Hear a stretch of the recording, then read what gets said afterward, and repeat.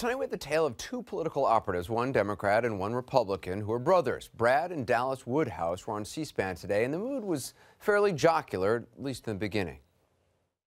You know, I just had no idea that he was going to be a right-wing Republican wingnut. Well, I don't know about that. You know, I think my brother always grew up a little more left, and then he, you know, he comes up here, and you know, once you come up to Washington, your brain gets poisoned, as we see constantly by people that come up here and totally lose their way. So the brothers are promoting a documentary called Woodhouse Divided, a funny and poignant look at both family and political dynamics. But since they're brothers and since they agree on virtually nothing politically, their C-SPAN appearance quickly devolved into this. The Republicans ran on nothing, ran just on anti-Obama. So I'm What did the very, Democrats run very on? inter- What did interested your to see.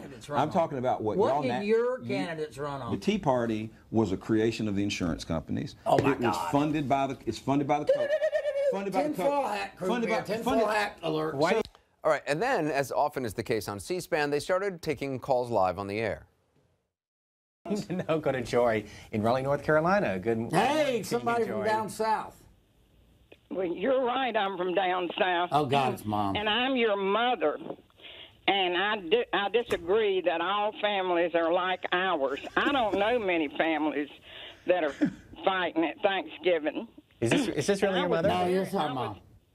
I was very glad that this Thanksgiving was a year that you two were supposed to go to your in-laws, and I was ho- and I'm hoping you'll have some of this out of your system when you come here for Christmas.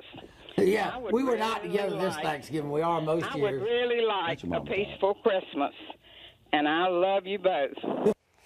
No question who won that debate, one Mrs. Joy Woodhouse. From now on, whenever pundits are arguing on television, I want their moms to call in and, they'll, and tell them to get it out of their systems so they can have a peaceful Christmas. It had to be disarming. You're on television doing your job and suddenly your mom calls. It's got to be difficult to come back from something like that.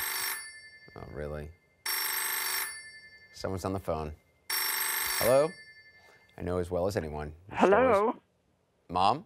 Hello, Anderson, darling. It's your mother. Listen, I was watching your show and I just had to call in and say how proud I am of you.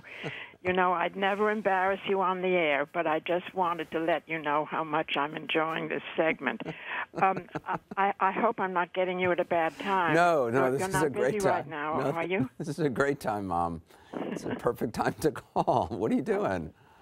What, sweetheart? What are you doing? Well, I, I'm I'm watching you. I'm watching you on on on on the on the air as I do every night. I'm I'm I'm glued. I'm glued. I'm glued from uh, you know from eight o'clock to nine. All right, Mom. Well, thank you very much for uh, for calling in. I appreciate it, Mom. Okay, sweetheart. Love right. you lots. I love you too. Bye. Bye.